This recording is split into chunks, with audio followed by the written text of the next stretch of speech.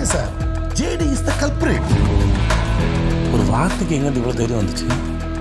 ஐயாவுன்னா அது ஒரு போதக்கை.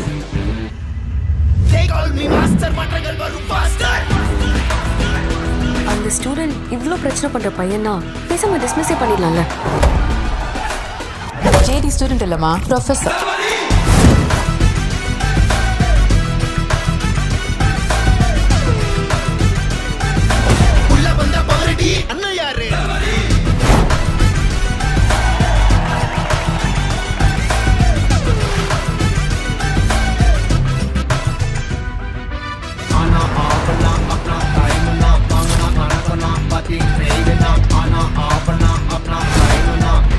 வாத்தி ஒரு மாதிரி வண்டிகளை ஓடிட்டே இருக்கான்.